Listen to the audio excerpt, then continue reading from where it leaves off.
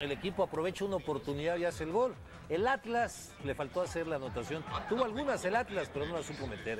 Hay por ahí un penal, ¿no? Que cuestionó mucho la gente del Atlas en el primer tiempo. ¿Y a Navarro cómo lo ves? Bien por Miguel Arroza, no. Navarro sigue en un muy buen nivel. A la Rosa se le cuestionó mucho a Raúl Arias que lo trajera y ha dado resultado en los dos primeros partidos, ¿eh? aunque, fa- aquí falló esta. Que le puso, le hizo una jugada de sexto año, Braulio Luna, ¿eh? Oye, de regresó- sexto año. Regresó Sosa. Aquí estamos viendo esta jugada y cómo define la Rosa. Debe estar muy preocupado Quirarte porque su equipo no ha iniciado bien el torneo y lo peor es que no se le ve mucha forma Pero todavía tampoco le llegó gran cosa de refuerzo, Ricardo. De acuerdo, de O sea, acuerdo, es muy difícil sin jugadores distintos pensar que un equipo va a cambiar del torneo ¿Y dónde están este. los jóvenes que tenía?